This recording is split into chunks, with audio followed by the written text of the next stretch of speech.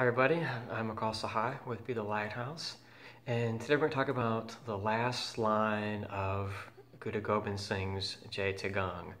So this is the Jai Jai Jagakaran Sristu Bharan Mama Pritaparan Jai Te Gang line. Um, as I talked about before though, um, there's several really awesome things going on here. One, is that unlike a lot of mantras, you you you know you, you, don't need to chant to get the benefits. A lot of times, you know, we're we're chanting is because we're, we're striking the the upper palate you know, to stimulate the thalamus and the hypothalamus.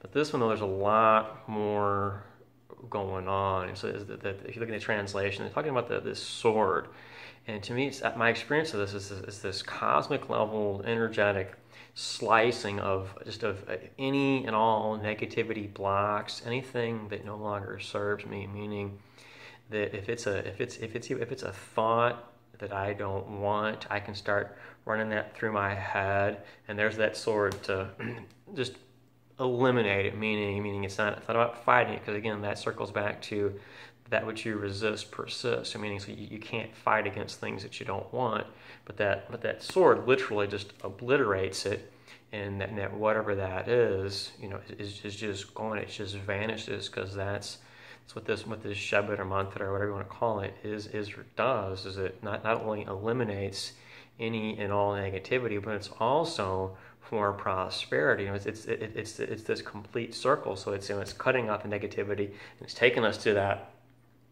awesome place where we're open to receive whatever you know all the all the awesome things that the universe has to, to offer us because that's because life is meant to be abundant and may yours be be blessed with much love and uh, and I will see you soon. So,